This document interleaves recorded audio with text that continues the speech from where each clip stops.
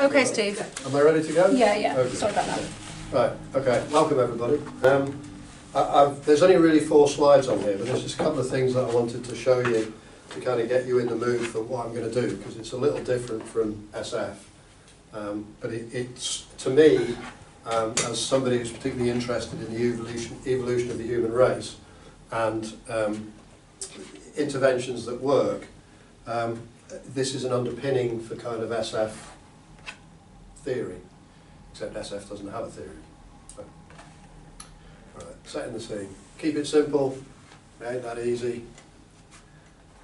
Sometimes I like to just come out here and think outside the box. And that's something that SF does quite a lot, um, is, is actually take a look at the box and say, no, I don't want to be here, I need to think, I need to be creative. I need to be thoughtful about what I'm doing and not just applying a paradigm. So, the other thing I wanted to, um, to, to offer to you um, was that the difference between misery and happiness depends on what we do with our attention. If I ask you not to think about pink elephants, what comes to mind? Okay, if I ask you to not think about your problems, what comes to mind? Um, if I ask you to think about your problems, what comes to mind? Okay, so depending on what we pay our attention to depends on how we feel about it. Now, I'm going to skip through all of this lot now because I want to get to a picture. And like I said, you've seen all this before in various different formats. Right, this is where I wanted to get to. How many of you have ridden a horse? Donkey. Okay. okay. Now, the reason that I'm so interested in evolutionary psychology is because we've developed, all organisms have developed behaviours over millions of years, behaviours that are effective. And one of the observations I want to make is that every single one of your ancestors was successful. How do I know? Because you're here. Okay? And so therefore they carried out a whole load of successful behaviours in order for you to be here. And those, we can trace back um, human behaviour about 270 million years. Okay, right back to the very, very first um, vertebrate animals. And probably before, but we're, we're pretty sure about vertebrate animals because we can find the record for them. Okay, um, and we are based pretty much, all vertebrate animals are based pretty much on the same structure. Okay, two arms, two legs, spine, head, etc., etc. And pretty much the organs are similar as well. So there are a lot, there's a lot of development of behaviour that's gone on over those 270 million years. Now, the reason I asked you if you any of you have ridden a horse is because a horse is a pretty fundamental um, creature in terms of some of the things I want to try and explain about human behaviour. And what do we know about horses? Well, I'm, I'm going to do my trick because I always do it on the whiteboard. And here we have a horse. Okay, it's in need of a good meal. Now, what do I know about horses? They're emotional. They're physically very powerful. They are also incredibly threat-minded. Can you all see that by the way? Okay. And the other thing is, because horses are incredibly threat-minded, they spook easily. Horses are very hyper-vigilant, we would call it. And this, this is all related to trauma, by the way, so we'll see where we go. The other thing about horses is they live in the moment. They live in the here and now. You don't see horses with insurance policies and mortgages and things like that. And they have two basic emotions. Fear and anger. Fear helps them run, anger helps them fight. And a lot of people would talk about the flight and fight mechanism. Well, human beings are the weirdest creatures on the planet, bar nothing. You could bring me something out of the bottom of the Marianas Trench in the Pacific. It is not as weird as a human being. Okay? And the reason we're so, by the way, I'll send you all this material, so you don't need to write anything down. Um, the reason that we're so weird, human beings, is because we're not one creature, we're two creatures.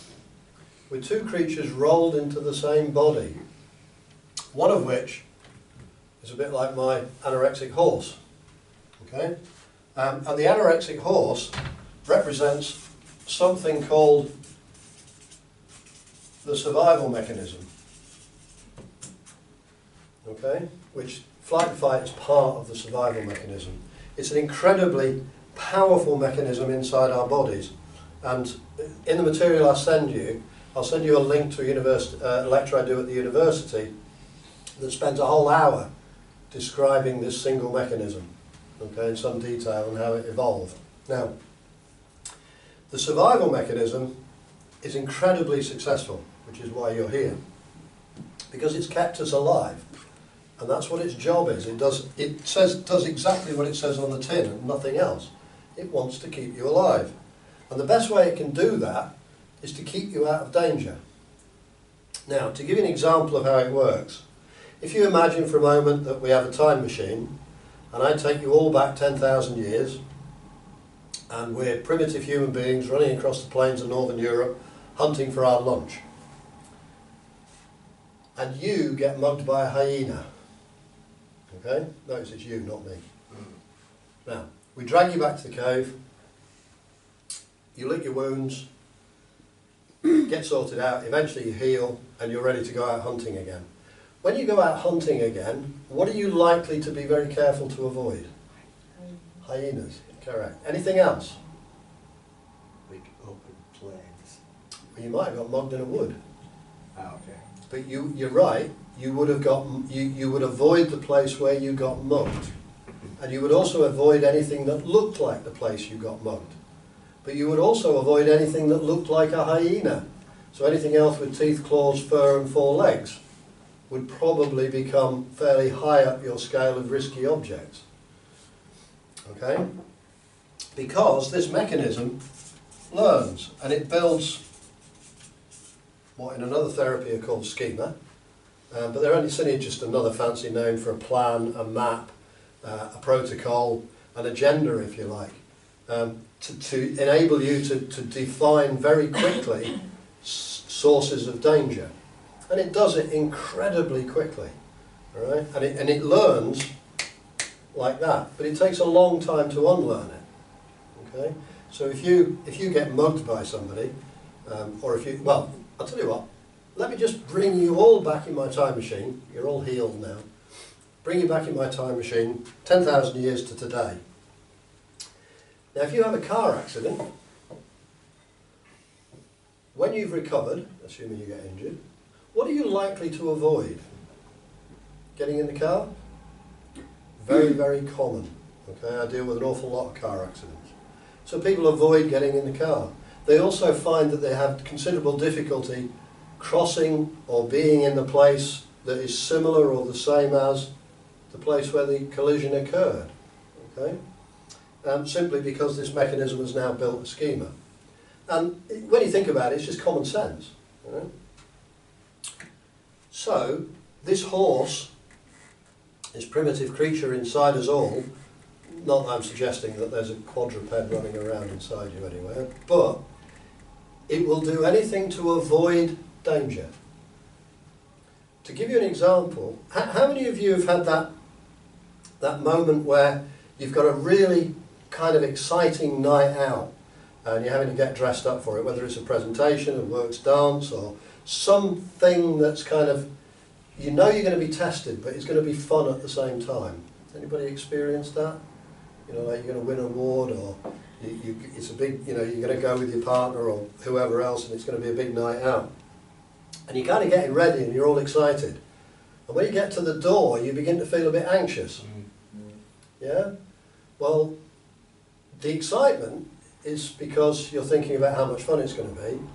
The anxiety is because you're also imagining the things that can go wrong. And the horse is beginning to pick those up. Okay, I'll explain more in a minute. But we get these paradoxical feelings about these situations. Okay? Is that automatic then? Yeah. you don't have any control over it. If it's learned something that's scary, it will respond in a way that wants to try to get you to avoid it. Okay? Now, all of that is going on below your level of awareness. Okay, and it applies to every creature with a backbone. This is learned be. It- it's learned and instinctual. I mean, if you- you take human beings, children or babies automatically respond to things like heights and spiders and sticks and water in an adverse kind of way because they're at risk. Okay? And the ones that obviously avoided those things are the ones that survived. So the avoidant behaviour is innate. The natural avoidance behaviour would be innate, and where people develop irrational fears is, is learned. It is learned behaviour, yeah. So you can have a bit of both. Yeah. Okay. Now, so far so good? Okay. Sat on the back of the horse is a rider. And the rider is you. Okay? Your awareness, your sense of self, your self awareness. And I, I don't use the word consciousness because I don't know what it means. Okay? But you, broadly speaking, are rational, logical, I can't even spell, and pragmatic, which basically means you do what works, okay, most of the time. Now, when we're in a good place, the balance between the horse and the rider is almost perfect. There's no sense of, of kind of imbalance, and we just get on with our lives and we enjoy ourselves and everything else. But when the balance moves slightly towards the horse, when we're miserable, when we're depressed, same thing, anxious, obsessive, myriads of different descriptions for the same thing in my book. Okay? But when the balance moves towards the horse, the rider feels a little bit out of control. And you ask most people who've suffered some kind of psychological distress, the first thing that they feel, or the first thing that they observe, is that they don't feel like themselves. They don't feel in control. They feel like something else is going on. And it's because the horse is now somewhat in the ascendancy. Not much, but just enough to make us feel uncomfortable. But we begin to focus on that because we feel, what's wrong with us? And we immediately ask that question. Now, that, that shift can come from myriads of different reasons, but almost invariably they're contextual. They're based in the environment. We don't, we don't create, um, by and large, we don't create our misery through our own thinking. It is in response to an external environment in some way. There are a few cases that that's not true, but not many. Now, the thing about, for those of you that have ridden a horse, or a donkey, what do you do to get the horse or the donkey to go faster? You kick it or you grip its sides. Right? When we're in this situation, the more you try to get a grip of yourself, that's a wonderful English expression, the more anxious you become. The more you try to grip on, the more uncomfortable the whole situation becomes. And the more you grip, the faster the horse goes. And that's how panic attacks develop. Okay, bearing in mind that this is just a metaphor. right? I'm not suggesting that you're really riding a real horse. But we try to control those feelings. But the more we pay attention to them, the more we focus upon them, the more we try to get a grip of ourselves, the worse things get. So the whole process has to be counterintuitive. But it gets worse. Okay? Because not only are there two creatures, but one of them has something that's immensely problematic imagination. Now, imagination, as far as we're aware, only occurs in human beings, no other creatures, as far as we know. Uh, and the evidence for that is kind of all around us, because other animals live in a natural environment, whereas we've created an artificial environment both physically and psychologically. Now, if we think negatively,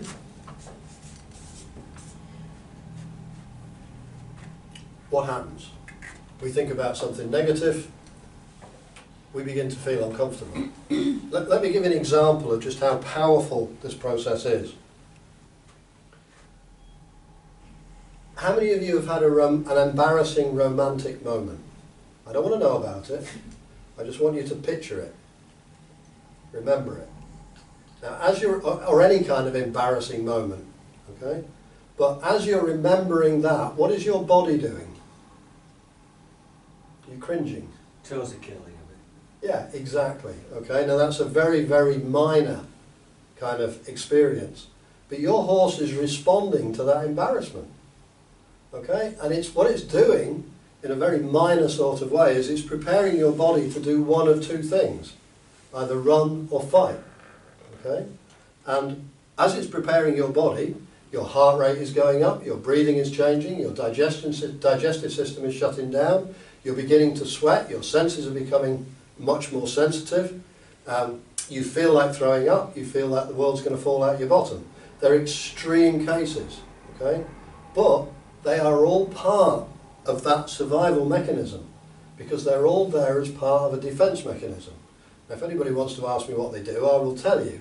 But the bottom line is that they are all things that have evolved to help keep you alive. And the people whose bowels evacuated or who threw up or whose senses became hypersensitive, um, whose heart rate went up and breathing changed, they were all the ones that survived. So these are the physiological behaviours that have been inbred into our systems. Okay? And we have no control over them. But yet they're treated as symptoms if you look at a medical model of psychology. Okay? They're not. They're natural, normal processes. Now, you imagine something negative, you communicate it to the horse, and the horse begins to react immediately. So a focus on problems is invariably going to invoke this mechanism at some level. So you're actually creating arousal simply by focusing on the problem, the feared object. And of course, as soon as we begin, begin to become aroused and we produce adrenaline in response to a, a, a, a feared situation, our capacity to think is reduced. So problem focus actually is really unhelpful, literally, psychologically, and physiologically. Okay? Now, so that's kind of the negative model, all right? And that's the traditional way that psychotherapy and medics and everybody else deal with psychological problems. They focus on the problem, which actually makes it much more difficult to process. But if you begin to think about what it is you want, and think about all the things that might work, and you think about the possibilities, the horse doesn't react. So your level of arousal reduces, you begin to feel more comfortable, you're able to process more effectively, and the possibilities become louder. Does that make sense? Hmm. Okay? So, at that point, I'm going to stop and I'm going to tell you a couple of little metaphors. After I've had a slurp of tea.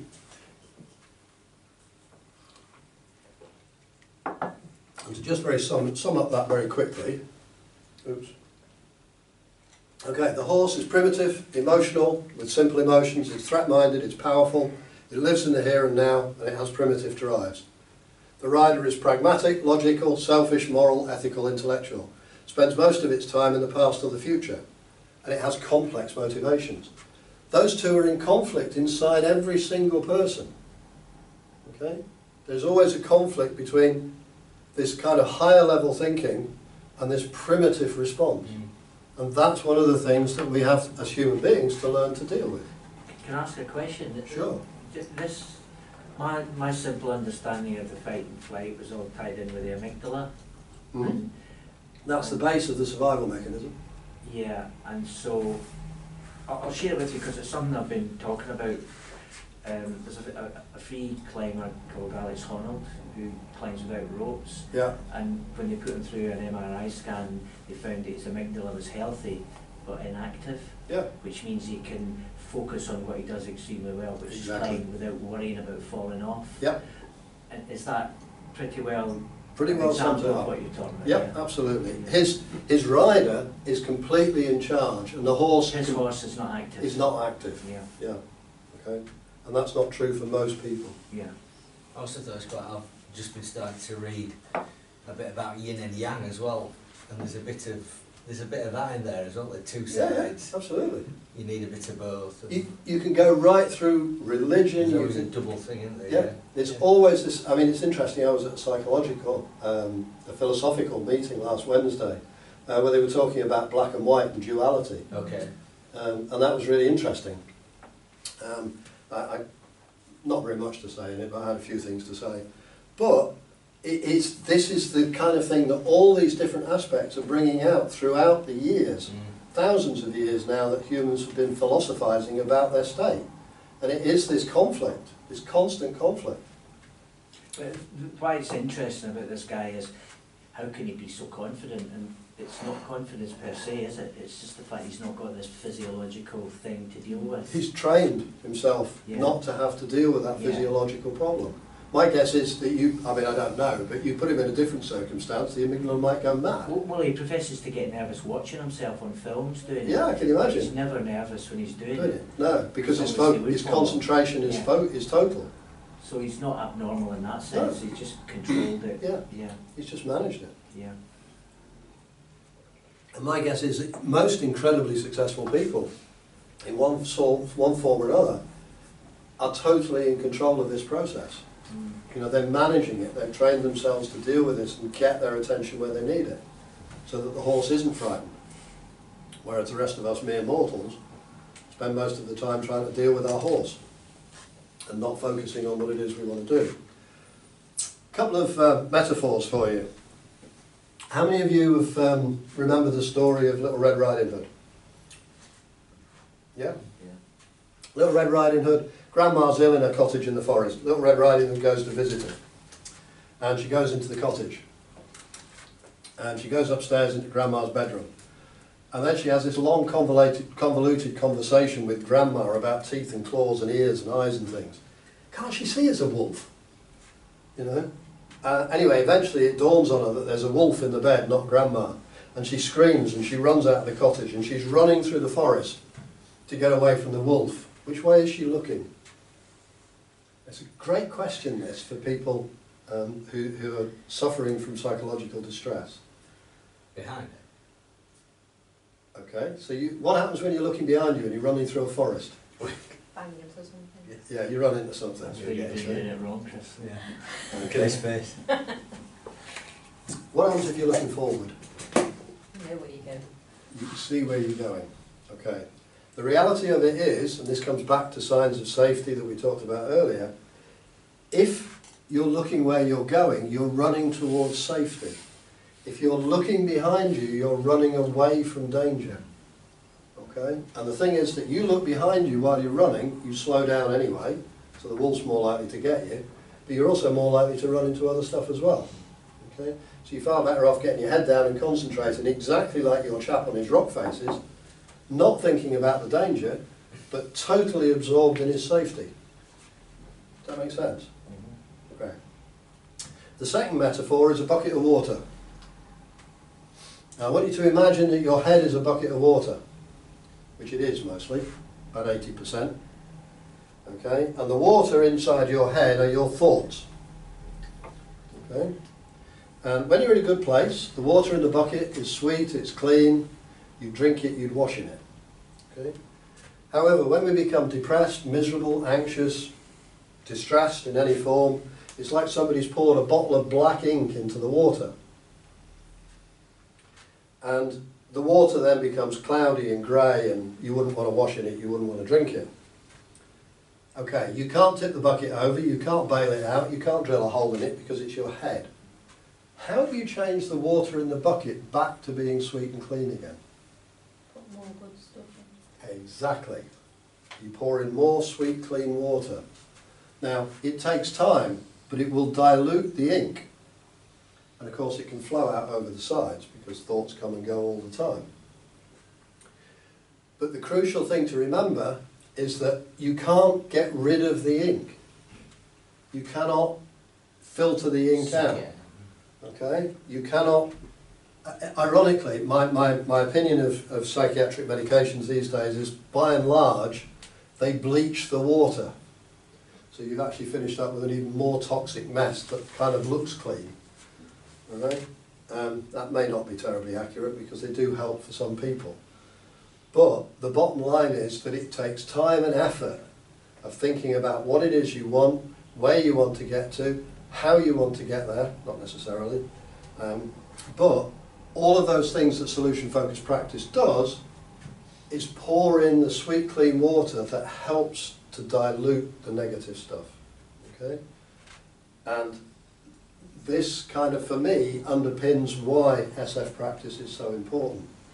Because it's taking us in the direction, it's fitting in with our physiology, it's fitting in with our evolution.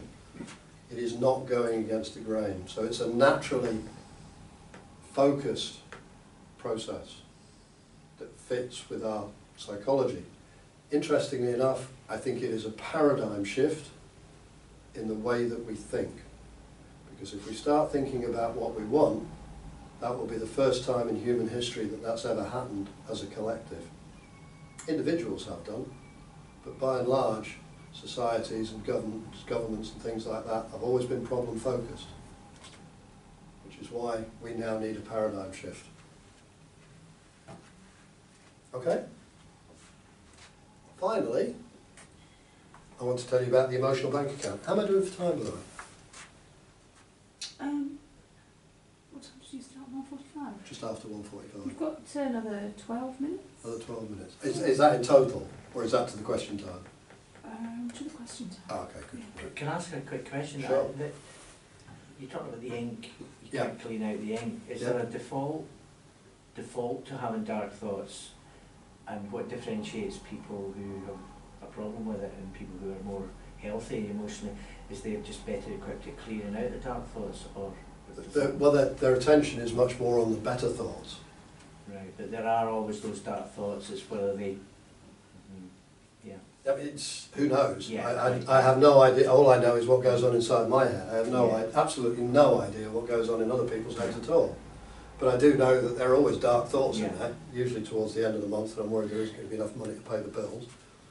Um, but other than that, um, we all have dark thoughts. It's about how, what we, what attention we pay to them, and, and what we need to do about them, if anything, to get rid of them. Is that why some people are given antidepressants to, Yeah, it bleaches the water. but it, it- It lifts them. it lifts them, Because they, they pay less attention to the negative thoughts. But then they're able to do it themselves. themselves, yeah.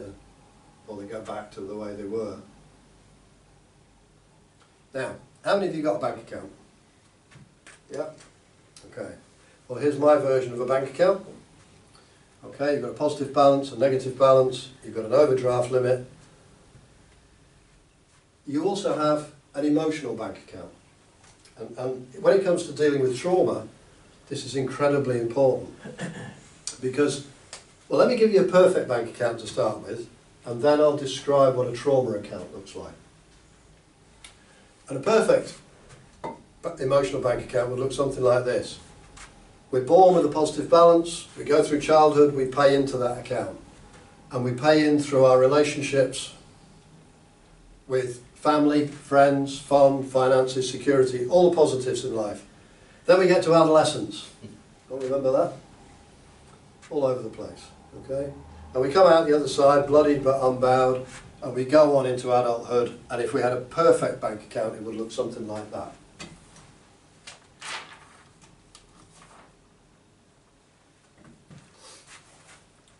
Nobody, not even David Beckham, has a bank account like that. Payments out of our account, trauma, loss, bullying, stress, all the negatives of life. Okay? Uh, but provided that there's a penny more paid in than there is paid out, all is sweetness and light.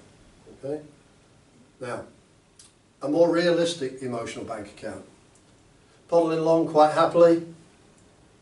Minor setback in life, i.e. your car is stolen, you drop. Requires emotional effort to get over that. Step forward, new job, new relationship, etc., etc. A bank account rebuilds itself because you're getting payments in through fun stuff, good stuff and all the rest of it. Then there's a major setback, maybe the end of the relationship or the loss of the job, and you dip below that zero line, but you have an overdraft limit, so you just dip into your overdraft for a bit. Really low point, minor depressive symptoms and or anxiety. And then life picks up again uh, and stabilises and you get back up to where you were before or possibly even better. And, and all, most people will have ups and downs in their lives similar to that. Make sense? Sound realistic? Yep. Okay. A trauma bank account. Pulling along quite happily. Traumatic event, collision, personal injury, unexpected death, serious injury of a loved one. I've just said that, it says as a loved one, I've never noticed that before. Hmm. Um, battlefield injuries, refugee ship, um, escaping from torture, all sorts of things. Anything at this point can cause a massive demand on our emotional bank account. But what happens is when we get to the overdraft limit, is that instead of beginning to pick up again, we begin to become avoidant and we become threat minded and we focus on the losses, whatever they happen to be. And we begin to bounce along the bottom. And each time we get a little bit back into their account, we pay it out by attending to the threat. So we no longer um, continue to, um, to, to bounce back simply because our attention, as I pointed out in the first slide, that our attention what we attend to determines whether we're happy or miserable. Um, we, because we're now spending all our time being hypervigilant, trying to avoid the threat or the potential threat of whatever it is that might happen again, we continue just to bounce along this line. And our behaviours change, and they become deeply ingrained the longer it lasts. But then, if we begin to focus on what is wanted, we begin to focus on a new reality, we change that attentional focus which is what we've talked about in the last two and a half days here, then we begin to focus on what we want, then the whole definition of our lives begins to change again back to the kind of stuff that we wanted or we, we had previously. Now for some people, their lives have been like that all the time and it is much harder to get them to focus on what life would be like if they weren't in a threat situation. But again, patience, time, thoughtful questioning about what is wanted, maybe using role models, noticing other people, things like that, will make a huge difference to the person that you're working with. So it isn't necessarily something that they have knowledge of, provided you can begin to help them to draw on their knowledge of other people, indirectly or situations, movies, anything you like, that they've noticed that helps them to describe what it is they would like. Okay. How is it relevant? Okay. What about the miracle question of preferred future? What are we doing when we're mining the person's desired future? We use getting them to use their imagination to imagine something that doesn't yet exist but could do. It has the potential to exist for them we use our imagination in every other part of our development through our lives, trying to imagine what it is we want. It's laden with emotion, which is why, if you look at a problem focus, all you're doing is focusing on the things that you don't want. That doesn't mean that we're problem phobic, of course we're not. But the attention is always brought back to what is wanted. And at that point, I think I will stop. Any questions? You, uh, you sent me that, uh, the graph for your bank account Oh, did I? a while back, yeah, when we first Oh, spoke. that's right. Yes, I did. Yeah. And uh, the chap uh, that I mentioned today was uh, got the anxiety issues, and uh, I actually showed him that. We discussed it together really, and uh, it absolutely resonated with him. It's like it wasn't a breakthrough, but it, it totally got where he was because he had a traumatic experience and he was, he says, I do feel as though I make a little bit of progress. He says, but I'm in this state of using all my energy up, worrying about stuff and so it just Bounces it the bottom. bounces along the Yeah, absolutely. Yeah, you could absolutely see. Yeah, good. Well, thank you for that. It's a nice piece of feedback. Yeah, very good. I've got a million and different one things that I'm trying to spin round my head and, and process. Just go back to that graph, if you don't mind. Alright. Because you kind of got me, lost me. Whereabouts? Uh, well, you didn't, no, we didn't lose me. At the point where you said antidepressants, um, bleach the water, Oh, yeah. um, I was a bit kind of taken aback by quite a definitive kind of, I almost took that as like a, a negative. So, you've got trauma in your life, you come down just below, you're in your overdraft, and you can get up by nice thoughts, yeah? At all. Yeah, so it's kind of, you know, the ups and downs of, of life and using your resources and, and not having a traumatic event that puts you down, right down on that bottom Yeah. line where you where, where you've spent everything that you've got. Yeah. So my interpretation of that, so you're hitting that bottom as a result of trauma. Now avoidant, to me, eh, is not just what you describe. I'm not saying that's not kind of what could happen with with um, trauma. Avoidant to me is almost hitting that red line, avoiding and not acknowledging, and using either fight or flight in a way that fills you with sweet happy water. Because you're avoiding avoiding it so you can live the rest of your life or follow what would be a normal pattern. And then all of a sudden there's a trigger whatever whatever reason that is and you back down onto the red line Yep. at that point there, you've avoided, you've- you've avoided, you haven't been stuck in this cycle of bumbling along the Oh. bottom,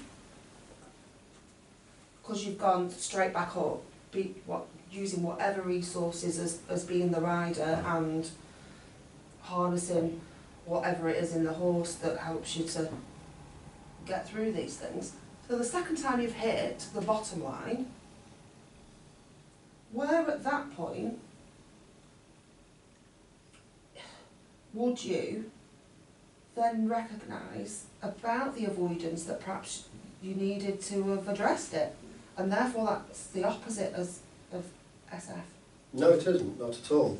The, the thing is that you, I mean, it's a really interesting question, thank you for asking it. Um, but the reality of it is that you, how, I mean, first of all, the question in SF would be, how would you know that you had addressed it? But if you address it in the present by saying, what behaviours can you change? I mean, this, this is this, this thing about, um, people talk about denial or, or all these other kind of things about their past or needing to go back and address it. My problem for some, as somebody who's worked in trauma for 25 years, is that people make this assumption that they need to go back to address it, but actually what they need to do is to accept it. And they need to learn from it, not try to do something about it, because you can't change your past. Yeah. Yeah, but we don't live in a culture where people are told that. No, I know that. Yeah, I agree. Um, That's what I'm trying to. That's why I'm trying to get this message across. And if you're right at the bottom of your line, w- w- wouldn't it, I don't know whether I've, I've like kind of feel Are, are you suggesting that this thing is still drawing on you? Um, no, I think kind of to, to where to move forward to, I suppose there's two, two questions for me. How much do you need to address about the trauma, um, about what happened, and not necessarily the detail of it, but your understanding and making sense of, Hmm. to be able to move forward.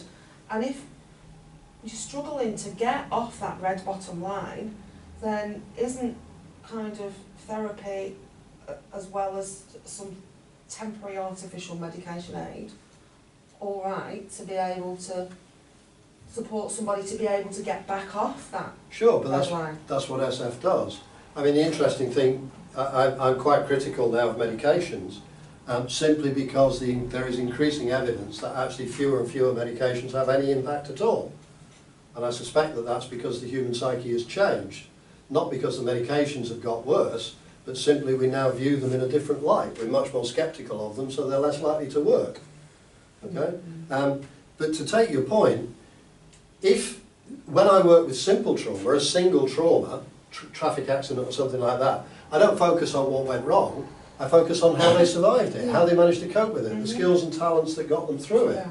And so they begin to notice all of those things instead of that momentary loss of control that may have caused it in the first place, if it was a car accident mm-hmm. or stepping off a ladder or. Can I ask a question? When you talk about trauma in, in this context, you're talking about the response to the event, not the event. I know you're talking about, So- well, it is the response to the event, yeah, okay. So, but, I mean, when you say you, you work in trauma, does that include working with some people who are really quite, for most people, innocuous events have somehow caused them to respond? No, I'm, I'm talking about battlefield victims, So, so convince, yeah, serious what stuff, you would, yeah. PTSD, yeah, as, as, Yeah. as it would be described in And, and you wouldn't typically see those kind of responses in most other contexts.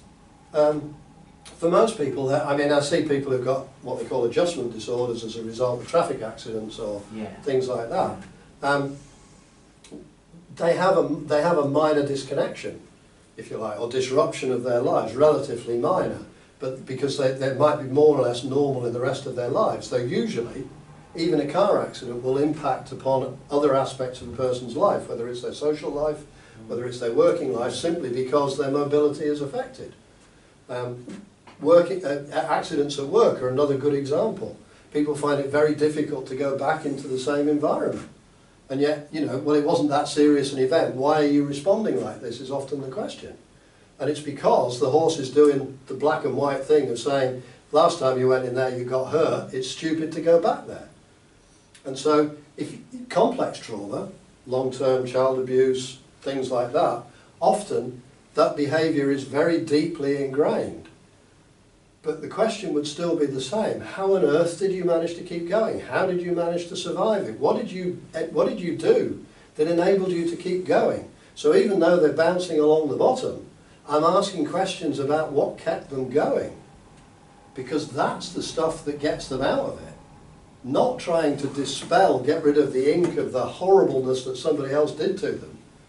And, and that's really part of the issue for me because an awful lot of people say, I need to get restorative justice, I need to get something to happen to the other person. Well, of course, if that doesn't happen, they're stuck. But if you begin to look at how they manage to cope with it, then they can begin to get out of it. Does that make sense? Mhm. Does that help? Mhm. Yeah, it does. Good. Anything else?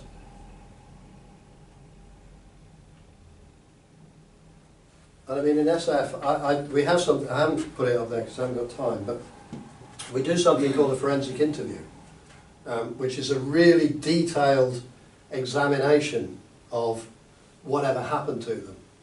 Now, I used to do that in a very kind of detailed way, looking at all of the five senses.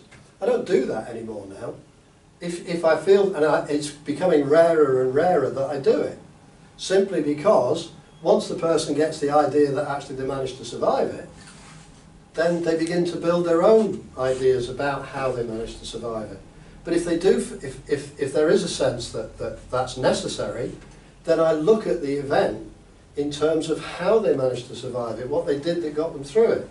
Uh, very quickly, a very classic example on the um, Switch Island. Everybody know? Oh, you won't know Switch Island. It's a horribly complicated roundabout system between the M57 and the M58 and the A59. It's a horrible junction. Uh, and I had a chap there on Boxing Day about three or four years ago. He's a gas man, a gas fitter. Uh, and he'd been out to an emergency and he just solved it and he was coming back um, and, and he was looking forward to having his, his Boxing Day curry or whatever it was. And he stopped at the end of the M58 and there were two lads racing, one in an X, um, a BMW X5 uh, and one in an Audi Quattro. Uh, and they didn't know the road and they came round that bend because obviously they were excited going through all the snaky bit at the end of the motorway. Um, came round the final bend and just one of them ploughed right in the back of him about 80 miles an hour. Um, and that was, that was okay. I mean, his handbrake was on and everything else. He got a big shock. Um, but the impact was such that he was shunted towards a lorry that was coming from Southport. And this lorry was a 40 tonner, it wasn't very far away, and he thought he was going to be pushed in front of it and would have been mangled. But he put his foot on the brake, he braced himself against the steering wheel, which isn't always very smart, but he wasn't going to hit something in front of him. Um, and the car, the vehicle he was in, the van stopped, and the, the truck went past about that far in front of him. And he was in a bit of a state, and the first thing he heard, because it was a hire van, was a voice coming from the dashboard saying, "We think you've had an impact. Are you injured?" Now, a voice coming out of nowhere, kind of like that, really threw him. He'd never heard anything like this before. And if any of you've seen any of the um, Die Hard movies, there's a car that does that there. All right, have you, have you seen that? It's really funny. It's a great little vignette. But the, the bottom line was that he, his knee had been fractured on the dashboard. He didn't know that. Um, he got very severe whiplash. He got a broken finger from gripping the steering wheel. Um, but the first thing he did after the truck had gone past, and bearing in mind this vehicle had been shunted nearly 50 feet by the impact, right? Uh, he jumped out of the vehicle and he ran round it, and, and he'd been sat there for maybe a minute after it had happened. And, and there was another car pulled up, and there was this woman getting out. And, and he was, I mean, he was a big bloke, and his, his first response to most things was to go and beat the crap out of whoever had done it, right? And, and he was running around the side of the van, and he wasn't aware of all the blood running down his knee. Um, and this woman leapt out of this other car and said, Don't do it! And, and he kind of looked at her and paused, and she said, I'm a police officer. Because she knew, she could see what he was going to do, the look on his face and everything else. And at this moment, as he was telling me this, I said, because he said, I stopped and I went and sat on the barrier. And I just said to him, How did you do that? And the whole of the rest of the conversation was about how he got back in control of himself from that moment. And we never explored the rest of it at all. We didn't need to because at that moment, instead of feeling out of control, which he had done ever since the collision had happened, because he, all he remembered was wanting to go and punch this guy's lights out, what he remembered now was being in control. And that was how the whole thing shifted. Because I was just so shocked. You know, how did you manage to stop and not go, this, irrespective of this policewoman, irrespective of that, how did you manage to stop yourself? And I mean, the guy had actually been very seriously injured, so it wouldn't have been very smart to go and beat the crap out of him anyway. But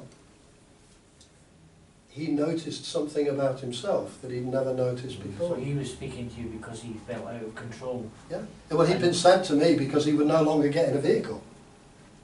He was no longer, He or would wouldn't- no he longer get drive. vehicle, yeah. He wouldn't drive. And so what you, you allowed him to consider was actually, he knows how to get in control, he knows how to He knows how to keep control of himself. And that was all, that was the only question I ever asked him about the collision. We talked about all sorts of other stuff. But in terms of the collision, that was the only You question I ever asked. drag all that trauma back No. up. Not at all.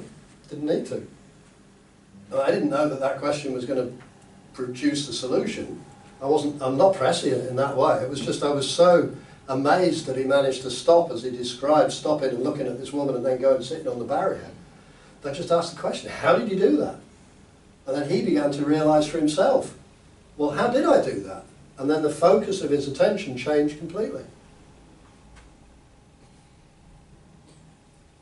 So, I shall pause at that point because I notice you're Well, I don't know whether this is going to come out very coherently. I don't think it, I suspect it's probably not. But there's something for me, there's something that, that doesn't, that's a bit, well, obviously it's a simplification anyway, and it's only a metaphor. Hmm. But there's something about the separation of the rational and the emotional that doesn't work for me. Because there's, and, and you and I have previously talked about the, the involvement of the limbic system and, yeah. and emotions in, in solution focused therapy and how the solution focused process isn't a purely, isn't a Isn't cognitive, rational. it is not a cognitive No, therapy, no. or not entire, not, not solely a cognitive therapy, it's kind of everything all mixed in.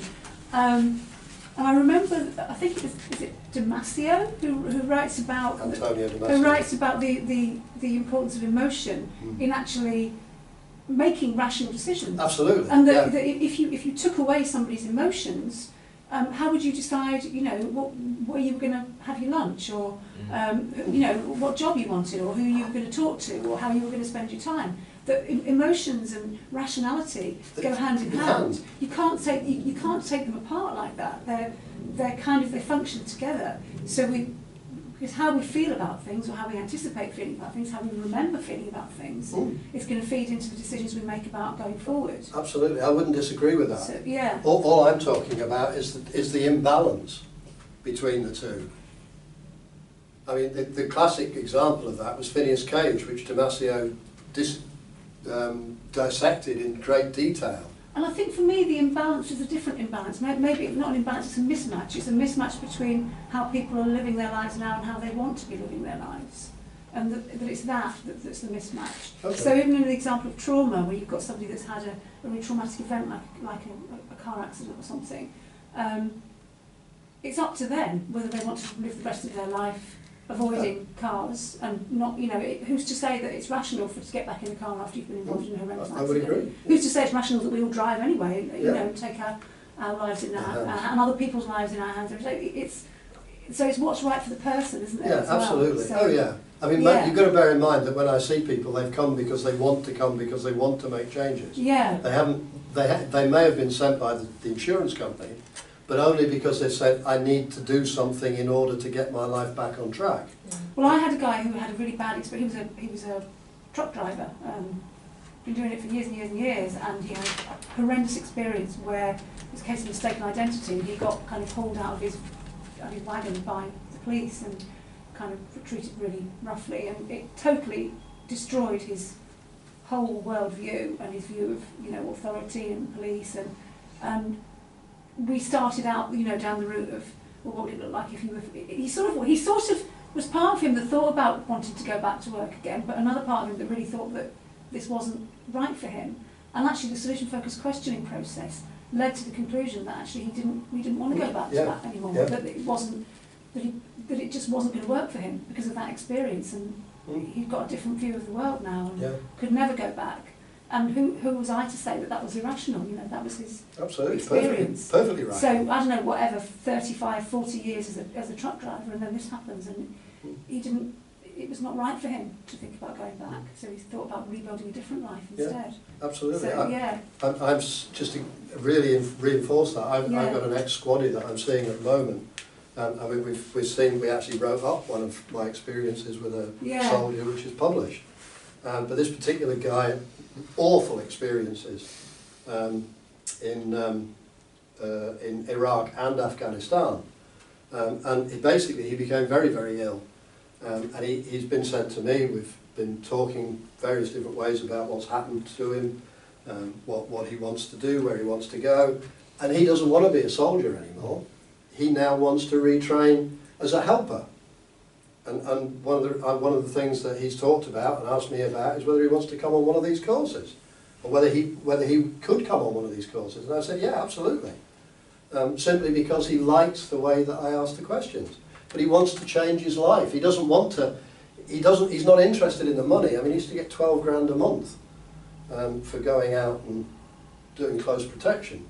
Um, he doesn't want to do any of that anymore. He wants to do something completely different. And I'm not saying, well, the only skills you've got as a soldier. What I'm saying is, okay, so what would be the first small mm. step? It's So it's always, it's always about the client's solution, not what other people Yeah. think the solution is. Yeah, Yeah. okay. Always. Yeah. excellent, thank you, Steve. So there you go. That's great.